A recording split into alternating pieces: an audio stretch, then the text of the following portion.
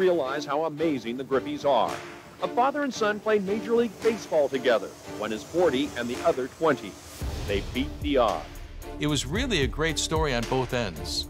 For Junior to get to the big leagues so quickly at the age of 19 the previous year in 1989, now in 1990 at the end of that year to play with his father, and for his father to still be productive at the age of 40. In his 18th major league season, Griffey Sr., a career 296 hitter. I'm probably the only person or father to hear this from the on deck circle was, Come on, Dad. And a base hit in his first time up as a Mariner.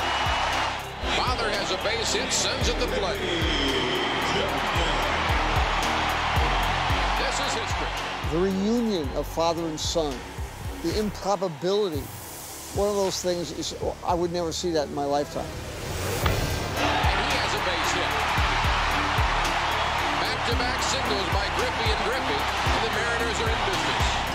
Be able to be out there and play the game, you know, with your son and with your dad. As a kid, without a father, is something that uh, that would have been a dream come true. The Griffeys were in the same batting order and the same outfield, making one moment all but inevitable. Oh no, don't don't talk about that. I don't want to talk about that. That just grounded him. You just you want me to talk about him getting grounded, don't you? When I first got in the outfield, I said, I'm going to cover three square feet and the rest is yours. Sammy shoots a high fly out of the left center. Junior just kind of drifts over and just snatched it, just cool as could be. And his dad sitting there trying to catch this ball. I started ducking because I didn't know where the ball was. Thought I was going to get hit in the head. I didn't think it was funny. So what I did was I jogged off the field, got in into the dugout. I said, uh, come here. I said, You're grounded. And I took the car keys from him.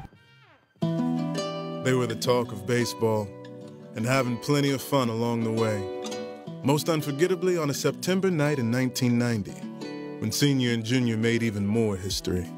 Whose home run was better between you and Grandpa? Oh, gosh. Oh. Uh, mine was better. Because? What was mine, yours better? Because he had no pressure. He already hit it, and he touched home plate. He was like, that's how you do it, son. Ken's had some success against the Angels when he was in the American League prior to joining the Mariners. Fly ball sliced to fairly deep left center field. Devon White back to the track the wall, makes the leap, and the old man has done it one more time. Fly away.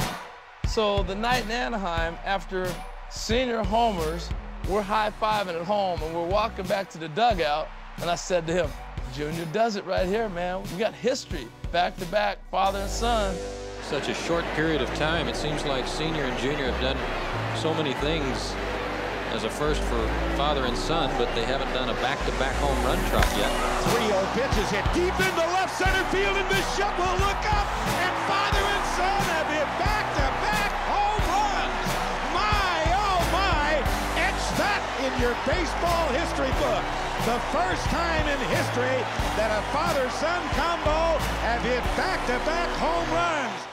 So yours was better? Mine was better, because he was already, ain't nobody was on. We asked Grandpa, what's he gonna say? Gonna say his was, he gonna say his went further. I say mine went out faster. he, he just hit a little line drive, just went over the wall, and I hit straight away center field, so I, I had the most pop that day. I was there that day what I remember about the game is, is, is certainly the two home runs, but the, the fun that Ken Griffey Jr. was having playing with his dad, their joy of just being with each other as dad and son was something that you'd never seen. And it was so special that you just had to appreciate it, you just had to enjoy it, recognize the specialness of it between two people.